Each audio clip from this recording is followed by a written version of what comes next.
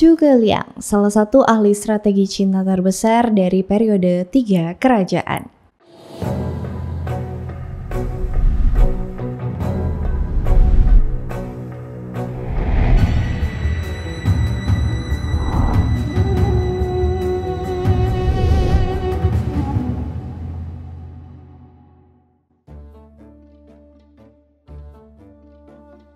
Akhirnya udah lama gak bahas Three Kingdoms lagi. Kali ini kita bahas Ratu Jess terkarismatik di zaman tiga kerajaan nih. Bukan cuma ahli strategi, dia juga seorang negarawan, insinyur, cendekiawan, dan juga seorang penemu. Uh.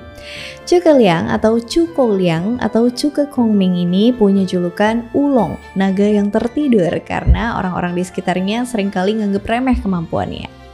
Saking hebatnya Liang dalam hal strategi, menurut legenda, panglima perang militer Liu Pei sampai harus datang tiga kali buat ngunjungin Liang di tempat persembunyiannya sebelum Liang bersedia jadi penasihatnya Liu Pei. Liang bantu Liu Pei ngatur pasukannya dan mendirikan dinasti Shu Han dari periode 6 dinasti. Liu Pei ini percaya banget sama kemampuan Liang. Bahkan pas Liu Pei udah mendekati ajal, dia tuh sempat berpesan ke Liang buat ngambil alih kerajaan kalau misalnya anaknya Liu Shan gak becus buat memimpin. Oh ya, seperti biasa kalau misalnya pronunciationnya agak kurang tepat mohon dimaafkan ya. Karena ini bahasa Mandarin soalnya. Di masa pemerintahannya sebagai bupati, Zhuge Liang selalu berusaha mengembalikan kejayaan dinasti Han Ya meskipun di tengah perjalanan Cuke Liang udah keburu meninggoy sebelum mencapai tujuannya. Kisah Cuke Liang ini banyak diceritain di berbagai novel, film, dan dianggap sebagai pahlawan dan negarawan Tiongkok yang paling terkenal. Kemampuannya juga luar biasa dan menurut beberapa cerita, Cuke Liang ini punya kekuatan supernatural. Gak cuman itu, dia dianggap sebagai penemu beberapa hal. Contohnya, roti manto, ranjau darat, serta cukonu atau cukenu, semacam panah mekanik yang bisa ngelontarin banyak panah cuma pakai satu tarikan jari aja. Nah, di dalam novel Romance of the Three Kingdoms, Cuke Liang digambarin sebagai lambang dari kecerdasan, kebijaksanaan, dan punya kekuatan mengendalikan angin. The older generation of Ang kalau kalian familiar sama buku The Art of War oleh Sun Tzu, nah, Zhuge Liang juga punya buku Mastering the Arts of War dan The 36 Strategies. Kehidupan awal Zhuge Liang Zhuge Liang lahir tahun 1801 Masehi di daerah Yangdu. Kalau sekarangnya itu jadi Inan, letaknya di selatan provinsi Shandong, China. Dia punya dua saudara laki-laki dan dua saudara perempuan. Masa kecilnya tuh tanpa kasih sayang orang tua. Ibunya, Chang, meninggal pas umurnya baru 9 tahun. Udah gitu disusul ayahnya, Chuke Kue, pas umurnya 12 tahun. Abis itu dia dan saudaranya diasuh sama sepupu bapaknya. Ya pamannya lah ya, Chuke Chuan. Chuke Chuan ini pejabat pemerintah yang hidup pada akhir dinasti Han Timur di Tiongkok. Dia terkenal karena pernah menjabat sebagai administrator Komando Yuchang di sekitar Nancang, Jiangxi saat ini pada pertengahan tahun 190-an. Pas Cao Cao invasi Shandong pada tahun 195, dia dan pamannya tuh terpaksa melarikan diri ke arah selatan ke daerah Qingzhou. Cuke Liang ikutin pamannya buat tinggal bareng Liu Piao yang saat itu menjabat sebagai gubernur provinsi Qing. Gak lama kemudian, pamannya meninggal karena sakit. Dua saudara perempuan Chu Liang kemudian nikahin keluarga bangsawan di daerah Xiangyang. Kakaknya Chu Chen pergi ke Sunu buat nyari nafkah, sedangkan Chu Liang dan adiknya Chu Chun yang saat itu masih muda pergi ke daerah Longchong dekat istana Liu Piao buat menggarap sebidang tanah dan jadi petani sederhana. Yang penting bisa bertahan hidup lah. Selain bertani atau beternak, Cuke Liang juga nggak lupa nuntut ilmu. Dia diajarin sama Pang Dekong yang adalah mertua dari kakak perempuannya dan juga Sima Wei, dosen di sekolah pemerintah. Sima Wei ini yang ngasih julukan Ulong, naga yang tertidur, ke Cukeliang. Di masa itulah Cukeliang juga ketemu sama pujaan hatinya, putri dari Huang Chengyan, Huang Yueying. Tahu nggak sih proses lamarannya tuh unik. Jadi Huang Chengyan bilang ke Cukeliang, Aku dengar kau sedang mencari pasangan. Aku punya putri yang jelek dan dia punya kepala kuning, kulitnya gelap, tapi bakatnya setingkat denganmu. Kepala kuning di sini tuh konteksnya pada zaman itu adalah sebutan bagi perempuan remaja, bukan blonde ya. Mungkin kalau cowok denger tawaran Huang Chengyan, kayak agak mikir-mikir ya. Tapi Liang nih memang beda, udah kayak salah satu stasiun TV berita. Dia malah terpesona sama kepintaran Huang Yueying dan akhirnya mereka pun menikah.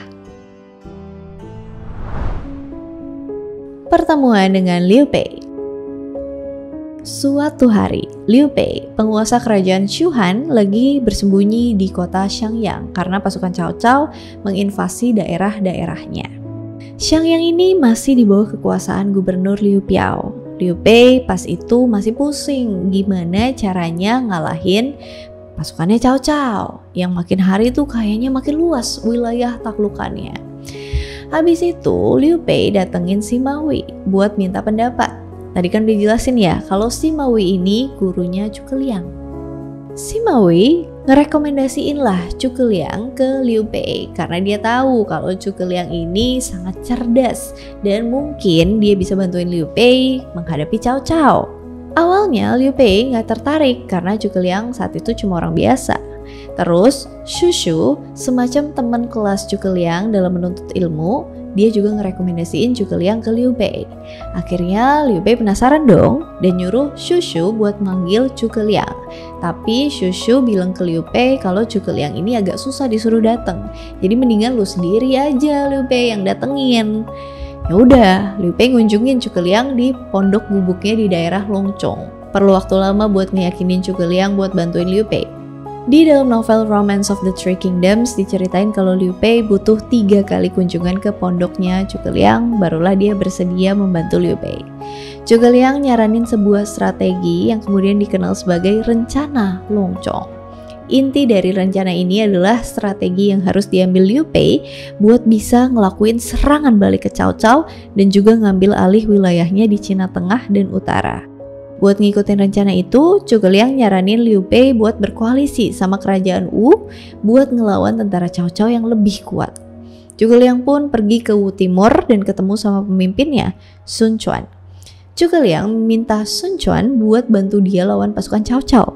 Sun Quan setuju dan gabung sama pasukan Liu Bei. Kemudian terjadilah peristiwa Battle of Radcliffe atau dikenal juga sebagai pertempuran Chibi pada tahun 208 Masehi. Pertempuran ini adalah pertempuran antara pasukan gabungan Liu Bei dan Sun Quan ngelawan pasukan Cao Cao. Mereka berhasil ngelain Cao Cao dan kemudian Liu Bei ngelanjutin penaklukannya di Jiangnan, meliputi sebagian besar provinsi Qing Selatan. Zhuge Liang berkuasa. Setelah keberhasilan strateginya di Battle of Radcliffe, Zhuge Liang diangkat sebagai penasihat jenderal rumah tangga militer. Tugasnya itu buat memerintah di daerah Lingling dan juga ngumpulin pajak buat militer. Tahun 214, Liu Pei berhasil naklukin provinsi Yi dan kemudian nunjuk Zhuge Liang sebagai penasihat jenderal militer buat nanganin urusan-urusan kantor pemerintahan. Pas Liu Pei jadi penguasa Shuhan tahun 221, Liu Pei nunjuk Zhuge Liang sebagai kanselirnya dan nempatin dia sebagai penanggung jawab badan kekaisaran, mengambil alih fungsi kepala sekretariat kekaisaran. Tahun 223, Liu Pei kalah dalam pertempuran Xiaoting dan jatuh sakit. Liu Pei pun berpesan ke Zhuge Liang buat bantu anaknya, Liu Shan, kalau misalnya nanti Liu Pei meninggal. Dan kalau misalnya anaknya nggak becus dalam memimpin, Liang bisa gantiin anaknya. Liu Bei juga berpesan ke anaknya Liu Shan buat ngurus urusan negara barengan sama Zhuge Liang dan nganggap Zhuge Liang sebagai ayahnya sendiri. Gak lama kemudian Liu Bei meninggal dan anaknya Liu Shan jadi penguasa Shuhan.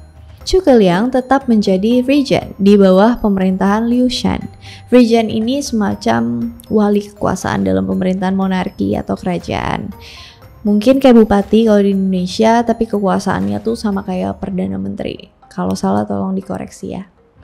Kita sebut saja sebagai Regent. Liu Shan juga ngangkat Chu Keliang sebagai gubernur provinsi Yi.